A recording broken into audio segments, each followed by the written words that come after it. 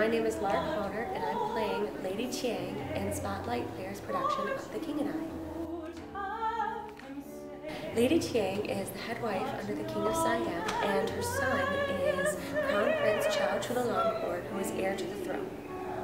Um, she has a quiet inner strength, and she understands uh, both the king's needs and the role of Anna in this she also gets to sing a very beautiful song, Something Wonderful, which I'm terribly excited to sing.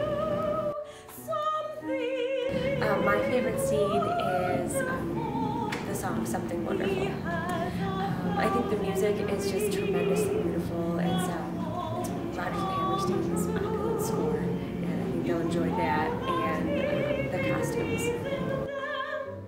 Um, if I could play any other character, I think I'd like to play Anna, especially after learning um, Lady Thiang's uh, personality and her role in the kingdom. Um, Anna has a different kind of strength and a different perspective on the world, and um, her, uh, I think her, her character would be fun to play, especially after having played this role.